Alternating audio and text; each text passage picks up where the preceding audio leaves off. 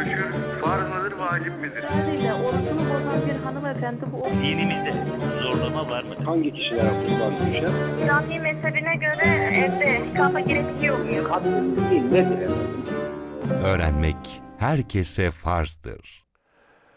Selamun Aleyküm ve Rahmetullahi ve Berekatuhu. Sevgili dostlar her birinizi Allah'ın selamıyla selamlıyoruz. Yuvalarınıza sağlık, mutluluk, huzur niyaz ediyoruz Rabbimizden. Diyanete Soralım programına hoş geldiniz, safa getirdiniz. Yaklaşık bir saat boyunca Diyanet TV aracılığıyla dini anlamda merak edilen sorulara cevap bulmak adına buradayız. Bu akşam kıymetli hocamız Diyanet İşleri Başkanlığı Başkanlık Müşavirlerinden Sayın Zeki Sayar Hocam bizimle birlikte.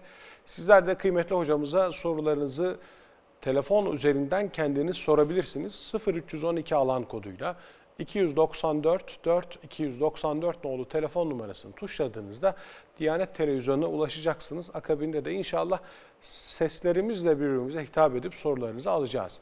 Diyanete soralım et diyanet.gov.tr adresi üzerinden de mail yoluyla sorularınızı bize sormanız mümkün.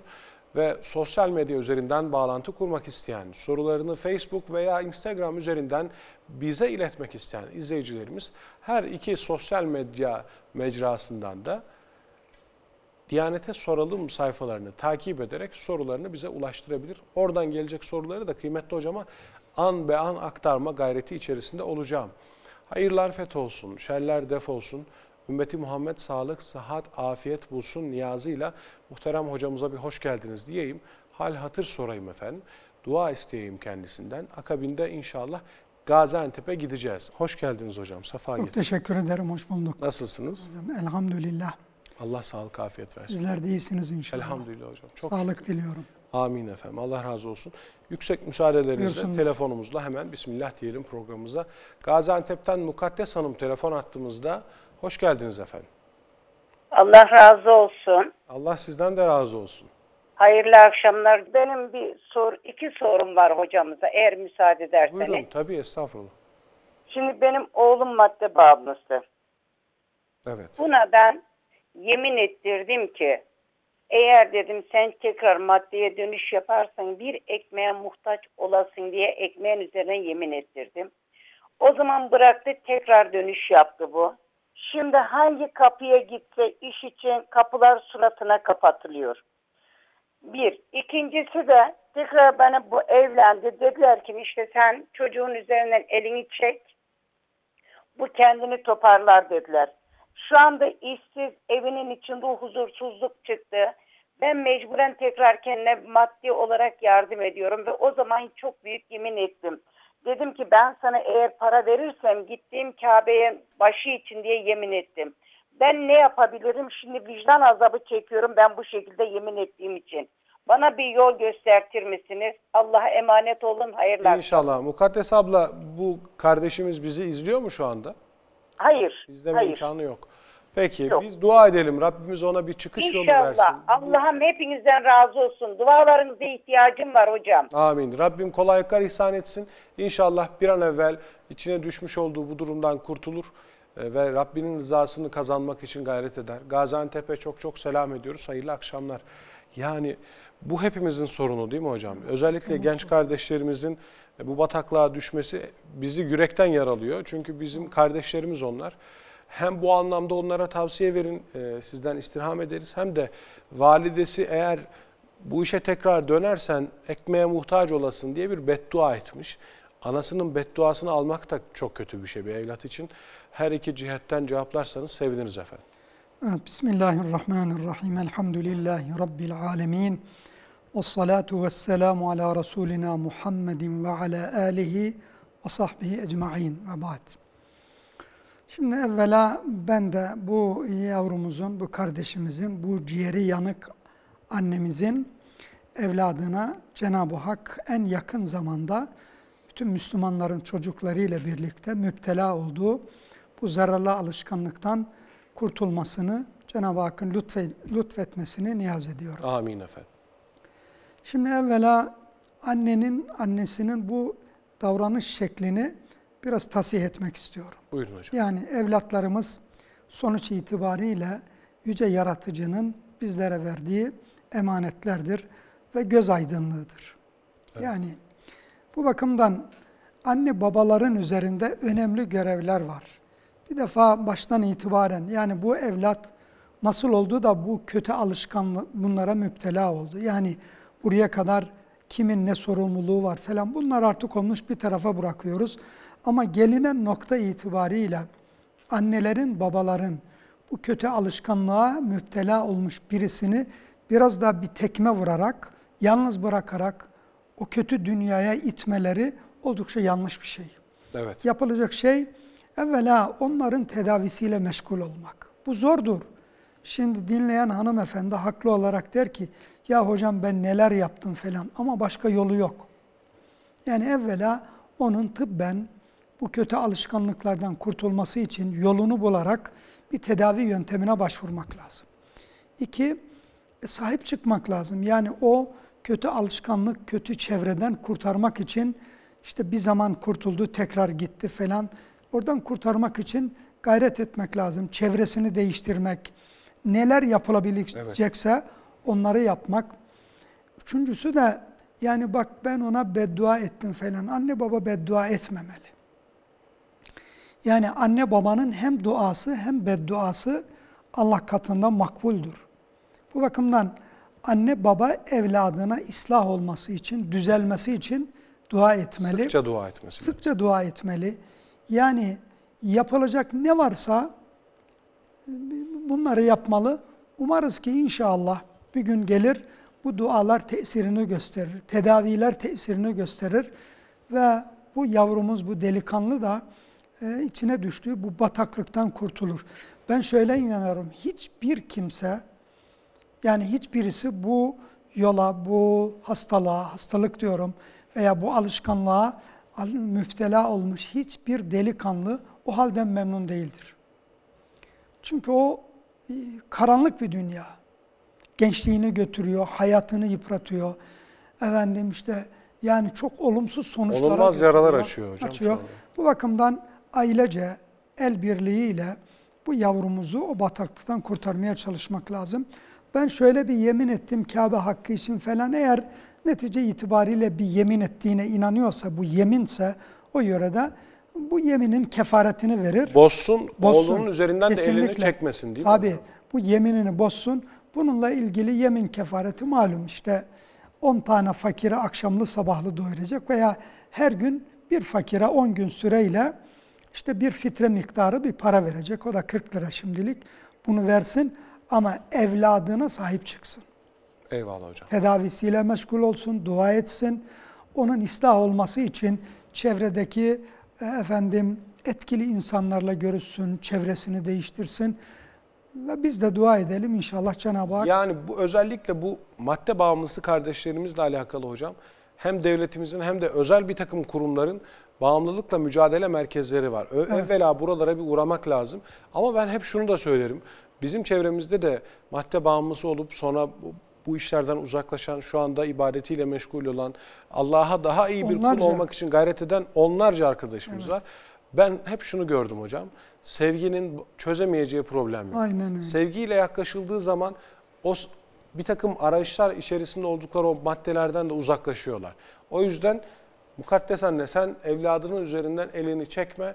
İnşallah yaşı kaç olursa olsun Tabii. anne her zaman evladı için e, çok önem Annedir, o da çocuktur. Değil mi hocam? O da çocuktur. Bu problem öyle inanıyorum ki çözülecek. Sonra gün gelecek mukaddes abla bizi arayıp diyecek ki ben bu problemi çözdüm.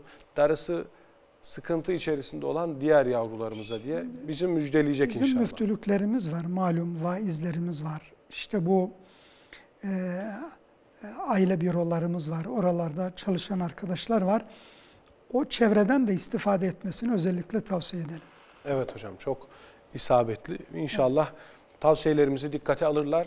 İzleyicilerimiz de bu uyuşturucu bataklığına düşen, alkol bataklığına düşen, kumar bataklığına düşen, çıkmak için çabalayan, çırpınan kardeşlerimizin kurtulması için dua etsinler. Rabbim onları sıkıntılardan kurtarsın. Amin. Sakarya'dan Muzaffer Bey telefon attığımızda. Hoş geldiniz efendim.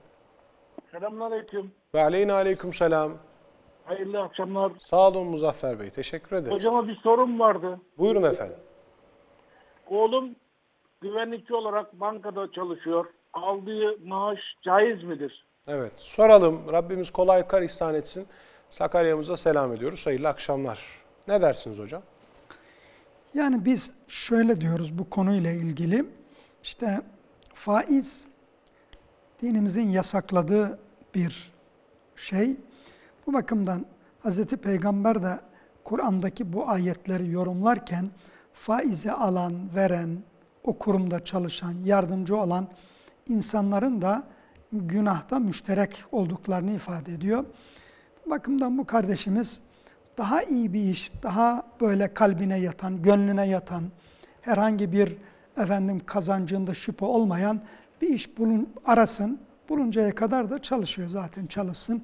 Ama az önce söylediğim gibi farklı bir işte arama gayreti içerisinde olsun. İnşallah. Cenab-ı Hak onun da bizim de taksiratlarımızı affeylesin. Amin hocam.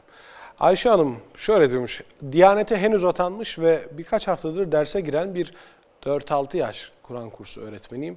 Sorum şu, memur sendikalarının belli periyotlar ile verilmiş olduğu, vermiş olduğu para caiz midir?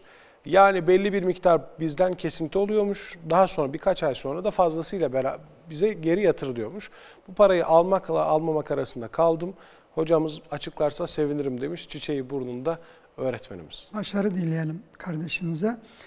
Tabi olayın mahiyeti bu söylendiği şekliyle bir değerlendirirsek ben bilmiyorum çok.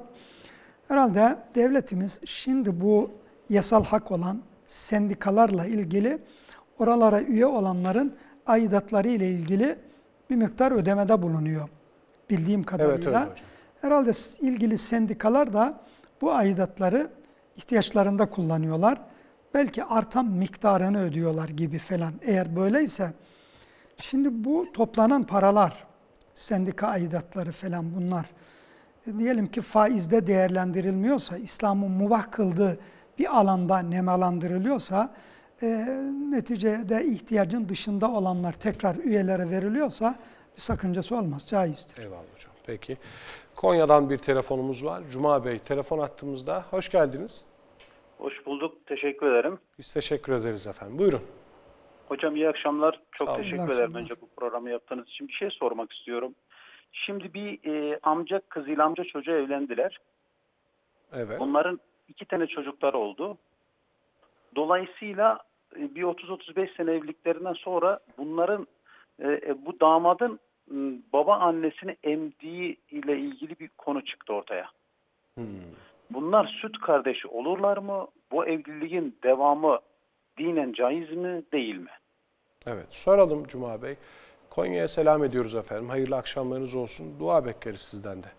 Ne dersiniz hocam? Şimdi bu süt konusuna bu vesileyle cevaplandıracağım. Bir daha dikkat çekmek istiyorum. Yani İslam hukukuna göre, İslam'a göre, dinimize göre eee nesep yönünden yani birbirine haram olanlar süt yönünden de haramdır. Yani süt kardeşliği e, hukuku sonuçlar doğuruyor. Bunlardan birisi evlilik yasağıdır. Şimdi bir baba anne e, torunlarından birisini evlendirdiği zaman artık o torunların hepsi süt kardeş olurlar. Yani emziren kadının nesli emenin e, emziren Emenin nefsi, emzirenin nesli. nesli evet birbirine aram olur. Şimdi bu bakımdan bu amca çocukları süt kardeşler. İşte buna dikkat etmek lazım. Yani bir defa böyle rastgele bu çocukların emzirilmemesine dikkat etmek lazım. Bu konuyla ilgili Din İşleri Yüksek Kurulumuzun hakikaten çok özgün, çok değerli bir mütalası vardır. Din İşleri Yüksek Kurulu bu konuya dikkat çekmek için özellikle e, bu mütalayı oluşturmuştu. Burada işte hastanelerde doğan çocuklar var. Böyle rastgele dikkat etmek lazım. İslam, Müslüman din açısından, İslam hukuku açısından bu sütün işte böyle hukuku sonuçları var. Gelelim kardeşimizin durumuna. Şimdi bu konuda iki tane görüş var. Bir, işte Hanefi mezhebinin görüşü. Hanefi mezhebinin görüşü şudur. Bir çocuk bir hanımefendiden süt bir damla da emse artık süt kardeşliği oluşur. Yani memesinden bir süt çıksa, çocuk da bunu emse, midesine imse, emse, bir defa da emse süt kardeşliği olur. Ne zaman? 0-2 yaş arasında. 2 yaştan yukarı emmeler süt kardeşi olmaz. Şafii mezhebi konuyu biraz daha farklı tutuyor. Diyor ki süt kardeşliğinin oluşabilmesi için süt emen çocuğun en az 5 defa bu emdiği hanımın sütünü emmesi lazım. Her defasında da doyurucu olarak emmiş olması Kendi bırakacak değil mi hocam? kendi bırakacak, doymuş olacak. Şimdi bu konuda evlenmeden önce e, Hanefi mezhebinin görüşünü özellikle tavsiye ederiz. Dikkat etmek lazım. Çünkü Hazreti Peygamber'in hadisleri var. Bu haramdır. Ama bir evlilik olmuş. Artık bu olaydan sonra konuyu değerlendirirken kardeşlerimiz bu az önce ifade ettiğim Şafii mezhebinin görüşüne göre amel edebilirler. Çünkü bir aile kurulmuş, çocuklar var. Bu da işte bir hak mezhebin görüşüdür. Buna göre eğer bu da kesinse, sabitse, beş defa doya doya emdiği de sabitse artık yapılacak bir şey yoktur. Ee, İslami açıdan bir çözüm yoktur. Ayrılmaları gerekir. Eyvallah. Şimdi bu süt mevzusuyla alakalı hocam bir soru da ben sorayım. Buyurun. Eskiden süt konusu biraz böyle ihtiyaca binaen oluyormuş herhalde değil mi? Yani bir süt kar- süt anne bulmak icap edermiş. Evet. Validenin sütü gelmediği için çocuğun da karnı doyması lazım falan. Ama şu anda sırf ergenlik çağına ulaştıkları zaman aman yeğenim benim eşimin yanında da rahat geçsin falan diye insanlar birbirlerinin çocuklarını emziriyorlar. Haliyle gereksiz bir süt kardeşi olma durumu da söz konusu. İleride böyle problemlerle karşılaşma da var. Yani belki de bu çocuklar büyüyünce birbirlerini sevecekler, Amin. evlenmek isteyecekler. Bu olay da unutulacak değil mi hocam? O yüzden günümüzde ihtiyaç yoksa süt kardeş yapmak makul müdür, değil midir? Evet uygun değil. Zaten ancak az önce söylediğiniz gerekçelerle Din İşleri Yüksek Kurulu o mütalasında da şunu söylemişti. Yani bazen böyle 5-6 aylık çocuklar, prometre bebek diyorlar bunlara. Evet. Böyle bir çocuk dünyaya getiren bir hanımefendinin normalde sütü olmuyor. Olmu- olmazmış Evet. yani. Bilim insanları söylüyor. Şimdi bu çocukların da yaşayabilmesi için anne sütüne ihtiyacı var. Bir gerekçe var, bir zaruret var. Böyle durumlarda ancak işte bir başkası hanımın sütü verilebilir. Onların da mutlaka kayıt altına alınması lazım. Yani işlenmesi Rastgele lazım, bilinmesi lazım. Rastgele değil. Az önce söylediğin gibi işte ileride şöyle olsun, böyle olsun düşünceleriyle bazen unutuluyor, yanlışlıklar yapılıyor. Böyle ciddi olaylar sonradan ortaya çıkıyor. İhtiyaç yoksa yani süt kardeşliği, süt hanımefendiler kendi çocuklarının dışındaki çocuklara bir zaruret yoksa, bir efendim annesinin sütü yok, bir durum yoksa süt vermemeli. Eğer verilmişse Mutlaka mutlaka bunlar da kaydedilmeli. Herkes çevre bunu bilmeli. Eyvallah hocam. Teşekkür ederiz. Bir telefon bağlantımız daha var. Mustafa Bey bizi Bolu'dan aramış. Hoş geldiniz efendim. Hoş bulduk hocam, hoş bulduk. Hayırlı akşamlar. Allah razı olsun. Hayırlı akşamlar. Hocam, e, hocama bir sorum olacak. Buyurun, buyurun. Akike kurbanı kesen acaba yiyebilir mi etinden? E, bir de bu vakit namazlarının arkasından mesela e, şey kılıyoruz. E, Kaza mı? kaza namaz değil de aklıma getiremedim ya. Evabin namazı veya e, Evet. diyelim Nafile namaz. Gerçi namazı. Evet. Yani şeyin arkasından, vakit namazının arkasından dua etmeden kılabilir miyiz? Yoksa vakit namazının duasını yaptıktan sonra mı kılmamız gerekir? Peki. Soralım Teşekkür Mustafa Bey. ederim. Allah razı olsun sizlerden. Allah sizden de razı olsun. Bolu'ya selam ediyoruz efendim. Dua bekleriz. Hayırlı akşamlar. Akika kurbanı nedir diye bir cevaplasak da hocam. Sonra Evet. kişi kendi kestiği kurbandan yiyebilir mi desek? Akika kurbanı şu demek, yani dünyaya gelen çocuklar için kesilen kurbana akika kurbanı denir. Manasını şöyle diyelim, Ya Rabbi sen bana böyle bir evlat lütfettin. Dolayısıyla bunun sağlıklı olması, göz aydınlığı olması için bir kurban kesilirse bu daha çok küçük yaşta çocuk işte kesilir. Efendim 7 günlük falan olunca e, veya ondan sonra ezan okunur sağ kulağına, sol kulağına ikamet getirilir ve ona kültürümüze, dini geleneklerimize uygun bir isim konur. Bu kesilen kurban akika kurbanıdır. Akika kurbanı kesen insan da, kesilen evin halkı da, dostlar da hep birlikte yiyebilirler. Dolayısıyla adak kurbanı ile bunu karıştırmamak lazım. Adak kurbanında adağa adayan kişi ve bir de onun bakmakla yükümlü olduğu kişiler bir de zenginler yiyemez. Fakirlere verilmesi gerekir. Ama akika kurbanını kesen insan da ev halkı da hep birlikte yiyebilirler. Herhangi bir sakıncası yoktur. Peki. Allah kabul etsin. Vakit namazlarının peşine akşamdan sonra evvabin kılacağız mesela. Önce tesbihat ve duayı yapıp sonra mı kılalım yoksa hemen farzdan sonra kılabilir miyiz? Şimdi aslında Hz. Peygamber aleyhissalatu vesselam Efendimiz bu tesbihat yani farzdan sonra yapmış genelde. Hani farz namaz bittikten sonra Peygamber Efendimiz e, işte 33 defa Subhanallah, 33 defa Elhamdülillah, 33 defa da Allahu Ekber gibi tesbihatı yapmış. Sonra sünnetleri kılmış.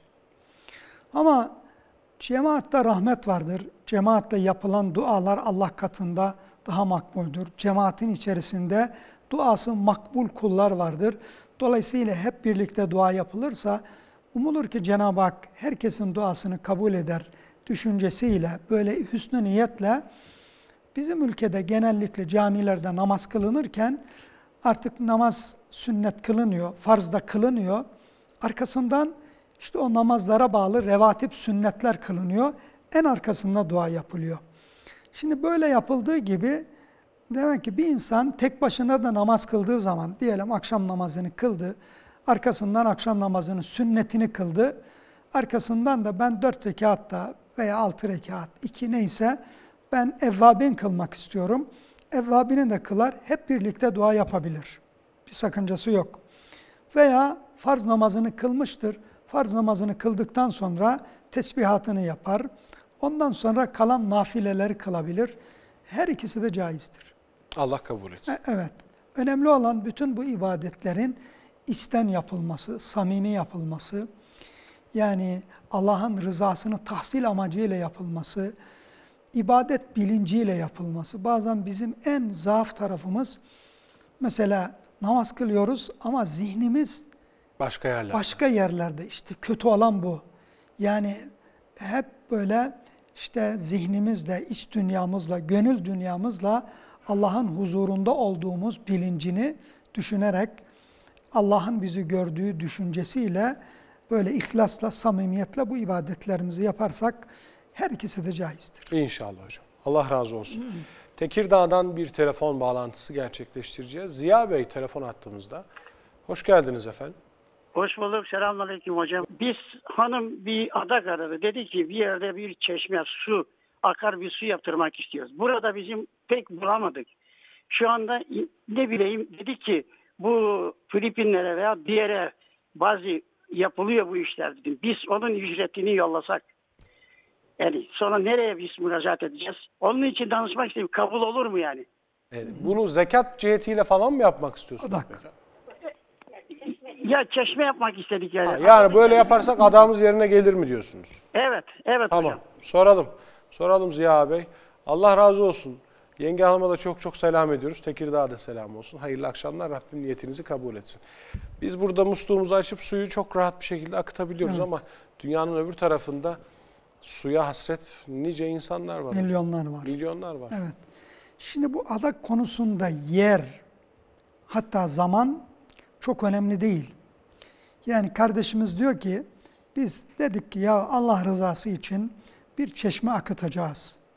Şimdi bunu dese ki falan yerde de başka bir yerde yapsa herhangi caizdir, bir sıkıntı yoktur. Dolayısıyla bir yer bağlayıcı değil. Diyor ki bu, bunu yapacağız ama çok da böyle gönlümüze yatan bir yer bulamadık. Ama duyuyoruz ki işte yurt dışında az önce sizin de işaret ettiğiniz gibi hakikaten suya hasret insanlar var. Acaba bunu oralarda yapsak caiz mi? Hem caizdir hem de isabetli olur. Peki bu konuda bize kim yardımcı olacak falan? Evet. Suali de arkasından geliyor.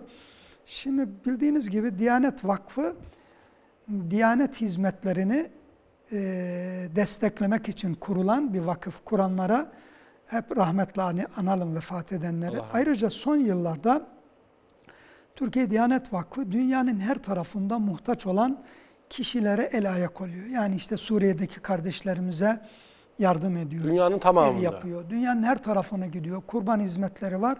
Bu kuyu hizmetleriyle de yakinen ilgileniyor. Dolayısıyla bu vesileyle kardeşimiz bulunduğu yerde en yakın müftülüğümüze müracaat ederse o müftülüklerdeki müftülerimiz aynı zamanda Türkiye Diyanet Vakfı'nın şube başkanlarıdır. Oralara başvurursa zannederim kendisine yardımcı olurlar. Bu hayırlı dileği, hayırlı efendim nezri adağını yerine getirmesine kendisine yardımcı olurlar, isabet olur. Eyvallah hocam. Bir şey sorayım hocam. Hem de Buyurun. Ziya ağabeyin sorusu biraz daha böyle netlik kazanacak bir tehlike var. Şimdi dünyanın farklı muhitlerine gidip farklı ülkelerde su kuyusu açan, açtıran eş dost var bizim. Evet. Bunu hem e, Türkiye Diyanet Vakfı aracılığıyla yapıyorlar hem de farklı Başka özel de Fakat var. bu özel derneklerle alakalı şimdi isim vermeyeceğim, hiçbirini zan altında bırakmayalım. Bana gelen şöyle bir şey var hocam. Burada çok ucuz paralara açılan, çok küçük meblalara açıldığı söylenen su kuyuları bir iki ay sonra kapanıp gidiyor diyor. Su kuyu, kuyu, e, kuruyor ve bir daha su gelmiyor. Ama Türkiye Diyanet Vakfı'nın yaptığı su kuyularında hem depo hem de tazikle akma diye bir bizim evdeki musluklar gibi böyle bir sistem kuruluyormuş. Şimdi sorum şu, eğer e, böyle bir sisteme mesela tamamını değil de atıyorum dörtte bir hissesini almış olsa yine bu adak yerine gelmiş olur Abi mu? su akıtmak, çeşme yapmak orada çeşmelerden birisine ortak olmuş oluyor. Şimdi ben de vakfımız bir vesileyle Sudan'a gittim. Kuyu açılmasına orada e, delalet ettim. Başkanlık beni gö- görevlendirmişti. Bu söylediğiniz şekilde olanlar var tabii. Biz Türkiye Diyanet Vakfı'nın hizmetlerini yakinen bildiğimiz için Güvenerek de söylüyoruz. güvenerek, tabii yani Diyanet Vakfı ile bu işi yapmasında fayda var. Zaten müftülüğe giderse gerekli detaylı bilgiyi verirler. Eyvallah hocam. Allah razı olsun. Sivas'tan bir Yiğido telefon attığımızdaymış efendim. 11 yaşında sevgili Muhammed. Hoş geldin. Hoş bulduk hocam. Nasılsın Muhammed? İyiyim hocam. Siz ne yap- Elhamdülillah. İyiyim. Ben de iyiyim. Çok şükür. Dinliyoruz seni. Hocam benim birinci sorum de- dedem sabah namazının arkasına bir günlük kaza namazı kılıyor. Doğru olur mu hocam? Soralım. İkinci sorum da hocam namaz kılan birisinin elinden dalıp geçmek günah olur mu hocam? Peki. Bunları tabii sen kendin soruyorsun değil mi? Dedenin sabah namazına kalkıp kalktığını görüyorsun. Sen de onunla beraber kılıyorsun. Bir de bakıyorsun ki deden bir günlükte kaza kılıyor. Şaşırdığın için soruyorsun. Evet hocam. Eyvallah. Peki. Kıldığın namazlardan sonra bize dua edersen seviniriz Muhammedciğim. Gözlerinden öpüyorum. Ailene çok çok selamlar. Sivas'ı da saygıyla, muhabbetle akşamlar selamlıyoruz. hocam. Sağ ol. Hayırlı akşamlar. Evet sevgili Muhammed bakıyor ki hocam dedesiyle beraber sabah namazını kılıyorlar. Sonra dedesi bir de bir günlük kaza kılıyor. Acaba olur mu? Ya şimdi bu eğitimde asıl olan zaten yaşayarak göstermektir. Hani yani namaz kılmayan bir insan evladına dese ki namaz kıl falan yani herhalde çok farklı cevaplar alır. Ya bu bu kadar diyorlar bile- ya, he, doğru. böyle. Şimdi ben de Muhammed'i tebrik ediyorum. Kaza namazı şu üç vaktin dışında her zaman kılınabilir. Güneş doğmasına aşağı aşağı güneş doğduktan aşağı yukarı yarım saat sonra güneşin tam tepe noktaya gelmesine kalacak işte 20-25 dakika. Bir de güneş batmasına yine işte yarım saat 40 dakika 45 dakika kala.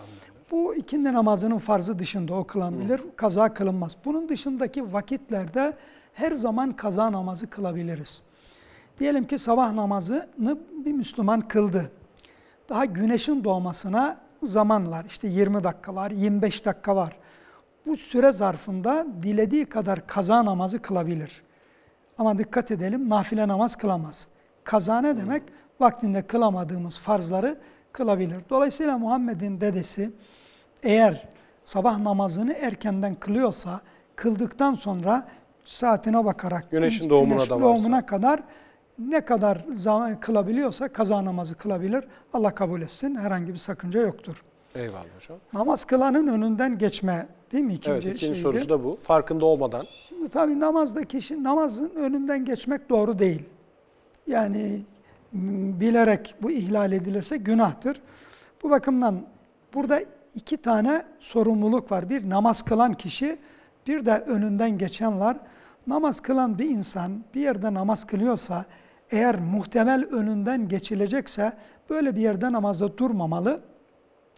İnsanların yani önünden geçmesine mani olacak işte bir sütre edinmeli veya bir işte köşeye çekilerek kılmalı. O böyle dikkat etmeli ama diğer insanlar da namaz kılanın önünden özellikle cuma günleri bazı gençleri falan camilerde görüyoruz. Eğer erkenden çıkacaksa hakikaten ön saflara gitmemeli. Arkada daha müsait bir yerde namaz kılmalı. Yani namaz kılan bir insanın önünden geçmek günahtır. Hz. Peygamber yani bilseydi ne kadar vebal olduğunu şu kadar zaman beklemeyi göze alırdı diyordu. Ama büyük camilerde, Salatin camilerinde bazen böyle işte namaz kılanın secde mahallinin daha ötesinden geçme zorunda kalır, kalırsa insan bunda da bir sakınca olmadığı kitaplarımızda ifade ediyor. Yani Muhammed Sivas Ulu Camii'nde namaz kılarken hocam hemen dönüp böyle geçerse onda da bir sıkıntı yok değil mi?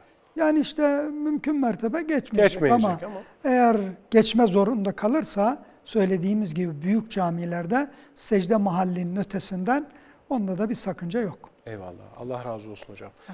Bir telefon bağlantımız daha var sınırlarımızın ötesinden Almanya'dan. Mürsel Bey telefon hattımızdaymış. Hoş geldiniz efendim.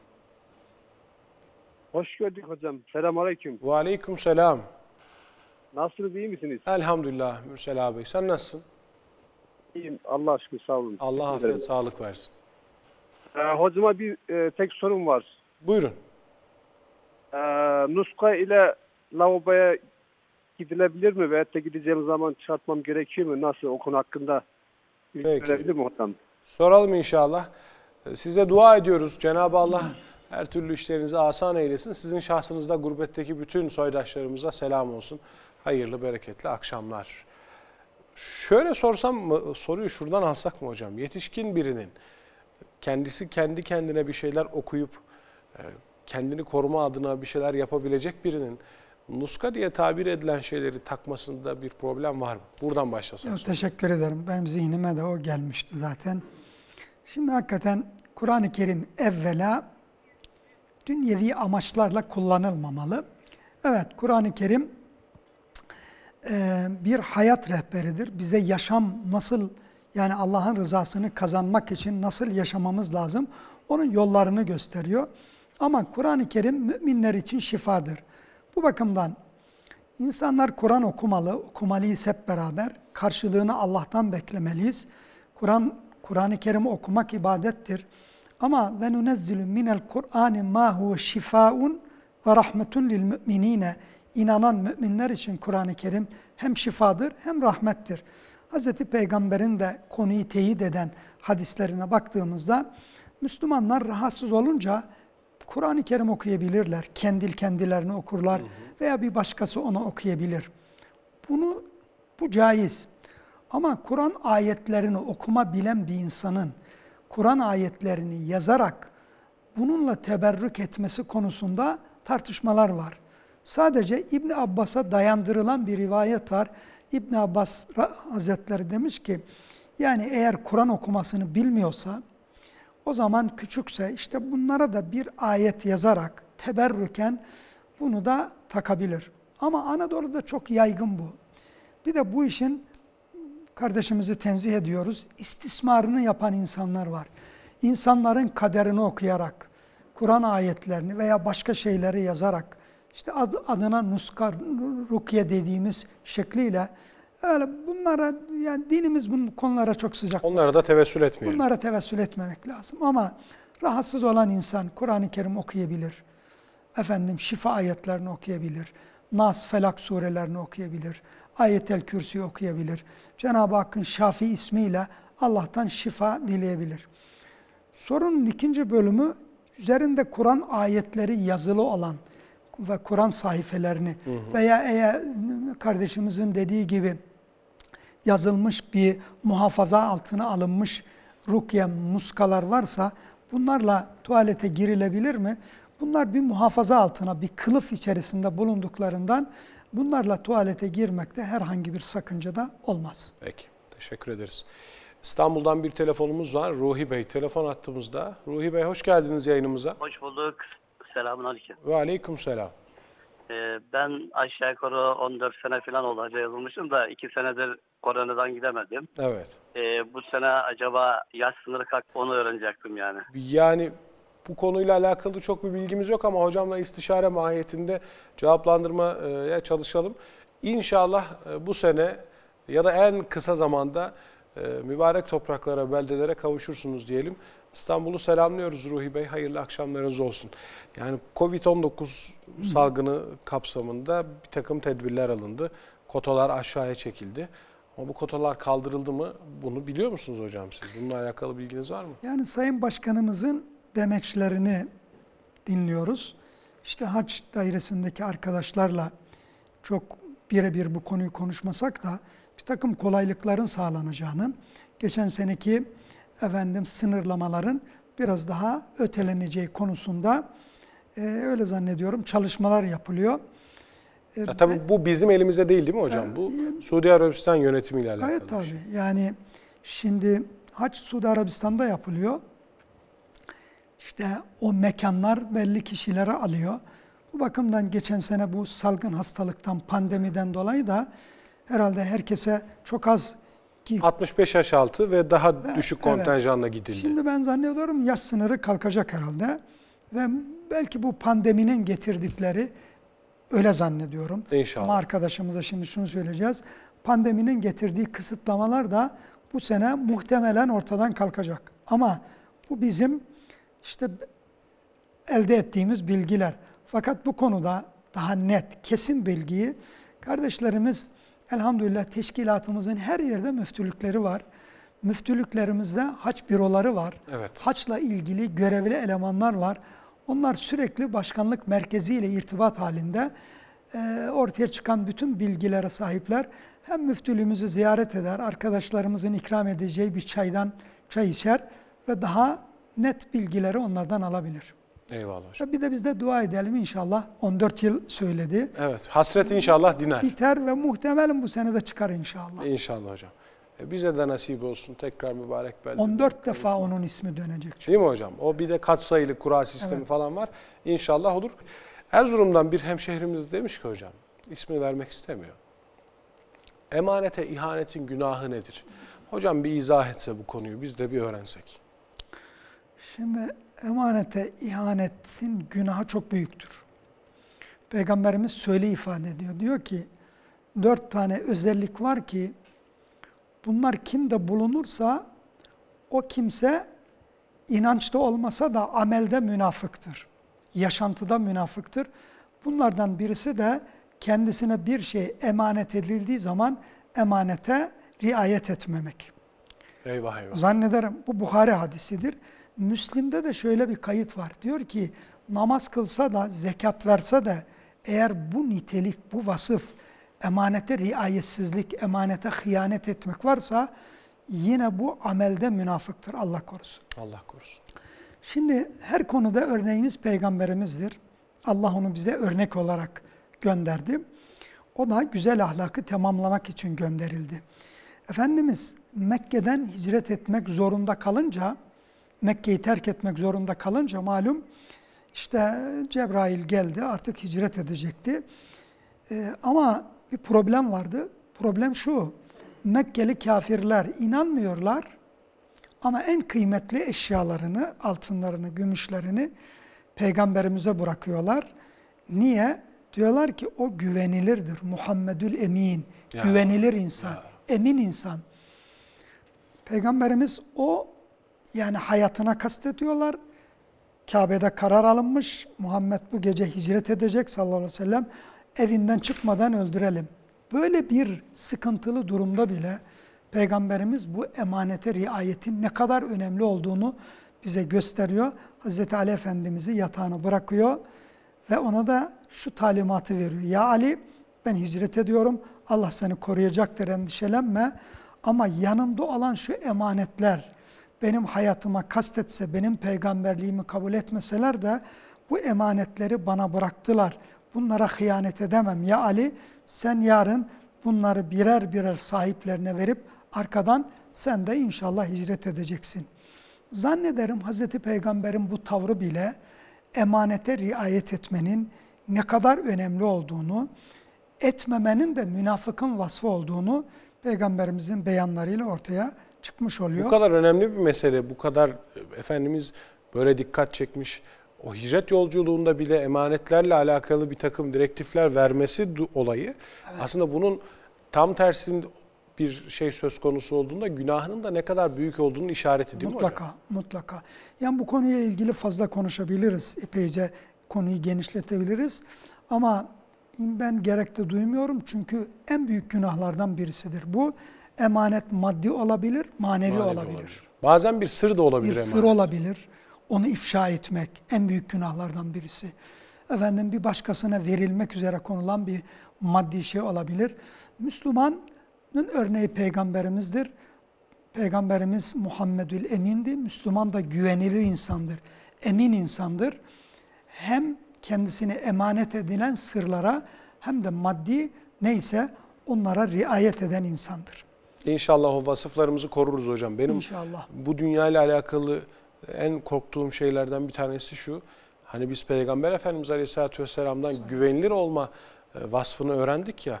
Bir Müslümanın güvenilir olma halini yitirmesi kadar acı bir şey yok. Değil mi? Gerçekten öyle. Yani yarın Allah- Efendimiz'e nasıl yüz yüze bakacağız bilmiyorum. Yani işte İslam toplumunu bu ölçülerle değerlendirdiğimiz zaman hem ülkemizi hem başka yerleri falan hakikaten ciddi problemlerin olduğu. Bütün bunların meselesi şu. Kur'an ahlakı, Hazreti Peygamber ahlakını hayata hakim kılmadığımız zaman işte bu problemleri hep yaşıyoruz. Eyvallah hocam. Rabbim problemleri çözen kimselerden olmayı Amin. nasip etsin. Ankara'dan Yunus Bey telefon attığımızda. Hoş geldiniz efendim. Selamun Aleyküm, hayırlı yayınlar efendim. Ve aleyhin aleyküm selam. Allah razı olsun. Hocama iki sorum olacaktı Hay efendim. hay efendim buyurun. Birincisi, sağlıklı bir Müslümanın Hanefi mezhebine göre namazını kazaya bırakmasının geçerli kaç tane sebebi vardır? Bunu bize camide hocamız uyumak, unutmak, bir de savaşta düşmandan fırsat bulamamak diye söylerdi. Doğru mudur, başka var mıdır? İkinci sorumda e, bazı Müslümanlar namazı çok hızlı kılıyorlar. Dört rekatlık namazı iki dakikaya sığdırıyorlar. Böyle namazı şıp kılma hususunda hocamız ne buyurur? Saygılar sunar, hayırlı akşamlar dilerim efendim. Allah razı olsun. Saygı, hürmet benden. Yunus Bey Ankara'mıza selam ediyoruz. Hayırlı akşamlar. Namazın kazaya kalma konusuna ne söylersiniz hocam? Şimdi e, kardeşimize teşekkür ediyorum. Güzel soru sordum. Şimdi şöyle bir laf var. Deniyor ki namazın kazası yoktur. Bunun manası şu. Yani bir Müslüman namazını kılacak. Namaz imandan sonra dinin en temel ibadeti. Hazreti Peygamber gözümün nuru diyor ve sözlerinde de namaz dinin direğidir, ana umdesidir. Bu bakımdan imandan sonra en önde gelen görev namazdır.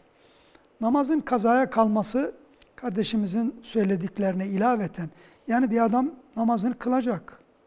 Yok işim vardı, mazeretim vardı. Yani Cenab-ı Hak bütün bunları mazeret olarak kabul etmiyor. Nasıl kılacak? Şartlarına uyarak kılacak. Sağlığı müsait değil, oturarak kılacak.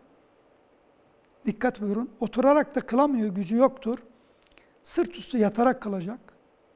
Sırt üstü yatarak başıyla ima ederek kılacak. Buna da kudreti yoktur. Yan üstü yatarak ayakkabılarını kıbleye karşı uza- uzatarak başıyla ima ederek kılacak. Öyle bir hali var ki artık başıyla da takip edemiyor. Bunu takdir ederseniz artık bu nedir? Bir bakıma koma halidir. Hatta bazı alimler diyorlar ki başıyla ima edemiyorsa gözleriyle takip ederek kılacak. Allah Allah. Gözleriyle de kılamıyorsa efendim kalbiyle yani bakın bu çok önemli ama Hanefi mezhebinde gözle ve kalple ima yoktur. Başıyla ima ederek kılacak. Zannederim fukahamızın ortaya koyduğu namazla ilgili bu fıkhi hükümler namazın ne kadar önemli bir ibadet olduğunu çok Buradan açık olarak ortaya insanlara koyuyor. da duyurulur. Yani ben işim vardı, şöyleydi, böyleydi, kalkamadım gibi yok. Ama bir de semavi arızalar var. Ee, işte kardeşimiz diyor ki camide hocamız söyledi. Kardeşim meslektaşımıza teşekkür ederim. Doğru şey söylemiş. Efendimiz buyuruyor ki üç şey var ki sorumluluk kaldırılmıştır o üç kişiden.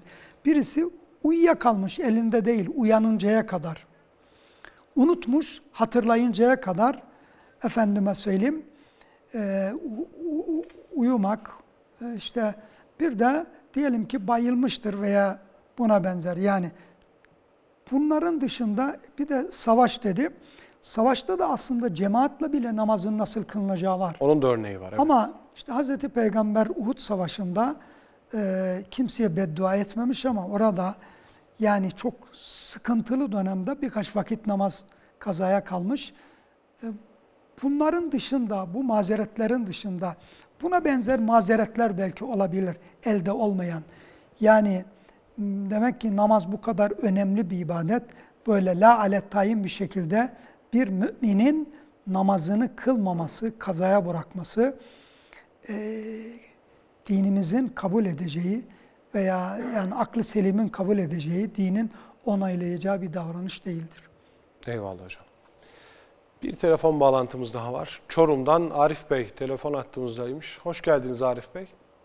Hoş bulduk. Hayırlı akşamlar. Selamünaleyküm. Allah razı olsun. Ve aleyküm selam. Hayırlı akşamlar. Buyurun. Hocama sorun ben çiftçilik yapıyorum. Ne güzel.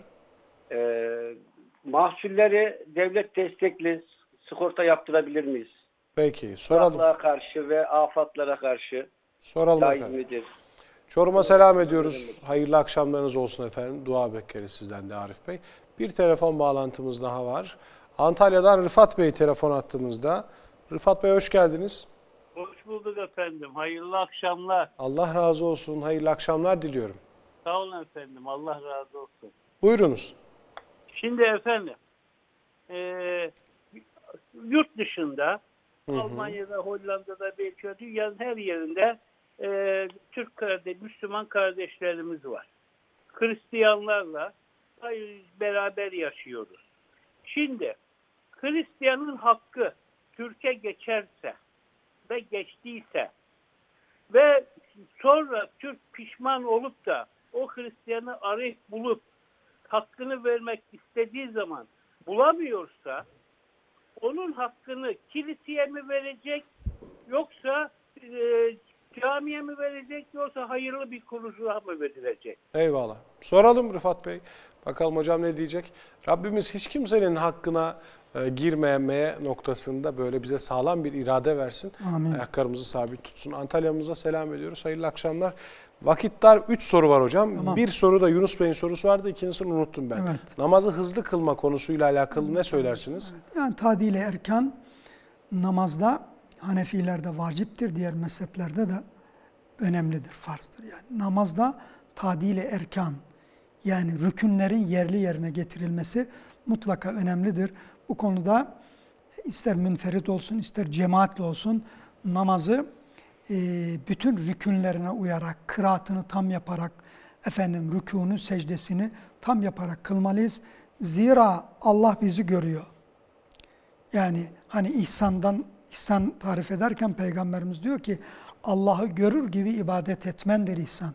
Zira sen onu görmesen de o seni, seni görüyor. görüyor. Namazda insan bir bakıma Allah'ın huzurundadır. Allah'ın huzurunda namazı hakikaten böyle geçiştirmekle değil, usulüne uygun olarak hem bilincimizde hem kalbimizde kılmaya gayret etmemiz lazım. İnşallah hocam. Tadil erken. Sigorta, tarım sigortası artık bu yani e, kasko ve benzeri sigortalar Din İşleri Yüksek Kurulu bu konuya caiz diyor. Tartışmalı bir konu. Farklı bakanlar da var. Ama Din İşleri Yüksek Kurulumuz bu konuyu detaylı bir şekilde incelemiş. Caiz olduğunu söylüyor. Tarım sigortası da caiz. Caizdir. Herhangi bir sakıncası. Peki hocam. Rıfat Bey'in sorusu biraz bana ilginç geldi. Evet. Yani bir gayrimüslimin hakkı eğer bizim üzerimize geçtiyse maddi bir hakkı. Biz bu hakkı ödemek için kiliseye mi, camiye mi yoksa başka bir hayır kurumuna mı bağış yapacağız? Vallahi her şeyden önce Müslümanın hakkı da önemlidir ama gayrimüslimin hakkı çok daha önemlidir. İşte böyle Müslüman- bir sıkıntı çıkabilir Ya, değil mi hocam? Müslüman bizi affedebilir. Müslüman kardeşimiz helallaşabiliriz. Şimdi bu kul hakkı e, ki kamu hakkı, kul hakkı, kul hakkını dinimiz çok daha önem veriyor. Bu konudaki dinimizin bize öğrettiği metot şu. Bir insan eğer bir başkasının hakkını bilerek veya bilmeyerek üzerine geçirdiyse evvela o hakkı sahibine tevdi edecek. Eğer bu maddi bir şeyse bedelini ödeyecek. Manevi bir şeyse gıybetse helallik alacak. Eğer bu adamın kendisini bulamıyorsa yakınlarına verecek. Şimdi kardeşimizin sorusuna gelelim. Diyor ki gayrimüslim bir adam Almanya'da, yurt dışında beraber çalıştı veya komşuluk ilişkisi neyse onun hakkını üzerine geçirdi. Bu kardeşimizin yapması gereken bu hak sahibini bulup hakkını ödemesi. Hocam aradı bulamadı. O zaman onun yakınları, mirasçıları kim varsa o mirasçılarını bulmaya gayret edecek. O hakkı onlara verecek, helallik alacak. Oldu ya onları da bulamadı. O zaman onu bir fakire, fukaraya onun adına tasadduk edecek. Çünkü başka yol kalmıyor. Yani. Öyle hele kiliseye, miliseye de değil. İhtiyacı olan birisine verecek. Ama daha çok yani kendisini bulması veya mutlaka mirasçılar bir emek verecek, bir hak var. Onu da bulmak için gayret edecek. Gayret edecek, evet. Eyvallah. Dursun Bey'in selamları var efendim. Bir sosyal medya sorusu. Uzun zamandır anlaşmazlık yaşadığım eşimle 4 yıl önce yine bir tartışma esnasında 3 defa boşadığımı söyleyerek evden ayrıldım ve mahkeme yoluyla da boşandık diyor. Bir daha hiçbir şekilde de araya gelmedik. E, Bir buçuk yıl süren mahkeme sonucuyla da ayrılığımız bitti. Sorumuz şu, ben tekrar eski eşimle evlenebilir miyim? Bunun dini hükmü nedir? Şimdi Furkan Hocam, adam han, hanımını boşadığı zaman aynı gerekçeyle mahkemeye başvurursa, mesela aynı gerekçeyle başvurursa mahkemenin boşaması bir bakıma kişinin boşamasını teyit etmek, onu tespit etmek. Ama bu soruda şunu anlıyorum. Ben boşadım yani üç talakla da olsa bir mekanda, bir mekanda onu vermeyi bir talak kabul ediyor çağdaş alimler, fetva kurumları. Şimdi ama mahkemede de diyor ki karşılıklı rıza ile bola- bo- bulaştık. Yani bu mahkemenin bu gerekçelere göre boşaması sanki farklı bir gerekçeyle boşama. Bu bakımdan kendisi üç talakla boşamış, onu bir talak bir mecliste verdiyse bir talak sayılsa, mahkemenin boşamasını da ayrı bir talak kabul edersek, bu aralarındaki üç talak bağından ikisi gitmiş olur. Bir tane bağ kalıyor. Eğer karşılıklı rıza ile yeniden e, bu bir talakla evlenebilirler. Ama yeni bir nikah çünkü mahkeme boşamış, yeni bir efendim mehir falan bunlarla arzu ederlerse yeni bir evlilik kurabilirler. Kurmak Eyvallah. isterlerse. Yani bu ko- kendilerini bir değerlendirecekler Evet. ona göre peki. Efendim Semra Hanım'ın sizlere selamları var. Sıla-i Rahim ömrü uzatır hadisini nasıl yorumlar? Bizi aydınlatırsa seviniriz demiş. Ya sıla-i rahim çok dinimizin çok önem verdiği konulardan birisi. Sıla-i rahim derken ne demek? Akrabalarla ilişkiyi kesmemek. Kişinin en yakın akrabası kimdir? Annesidir, babasıdır, kardeşleridir. Kur'an-ı Kerim'de Cenab-ı Hak Allah'a ibadetten sonra anaya babaya iyiliği ikinci sıraya koyuyor.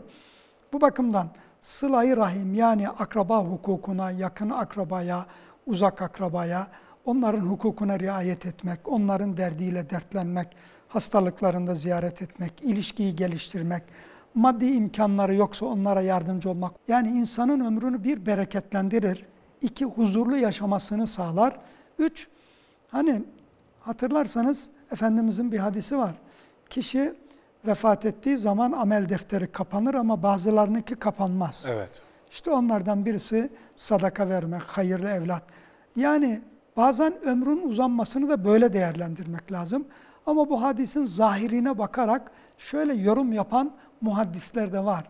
Ya mesela bir adamın ömrü şu kadar olacaktı. Cenab-ı Hak onun sadaka vereceğini, sıla-i rahim yapacağını bildi ve ömrüne ilave yaptı şekliyle yorumlananlar da, yorumlayanlar da var. Ama onun böyle daha çok bereketli olması, daha huzurlu olması, yaptığı bu iyiliklerden dolayı öldükten sonra da amel defterinin sanki hayattaymış gibi devam etmesi şekliyle de yorumlar var. Önemli olan bu sıla-i rahim görevini ihmal etmemek. Cenab-ı Hak yerine getiren kullarından eylesin. Amin hocam.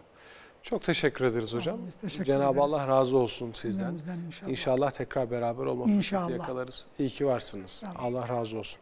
Merhametliler, Rahman'ın merhamet ettiği kimselerdir. Siz yeryüzündekilere merhamet edin ki göktekiler de size merhamet etsin. Rahim, Rahman'dan bir bağdır. Kim onunla irtibatını sürdürürse Allah da onunla irtibatını sürdürür. Kim de onu koparırsa Allah da o kimseyle ilişkisini kopartır. Cenab-ı Allah merhamet sahibi olup merhamete gark olmayı, sıla-i rahim yaparak Cenab-ı Allah'la olan ilişkimizi de artırmayı cümlemize nasip etsin. Tekrar görüşünceye dek hoşça kalın. Allah'a emanet olun.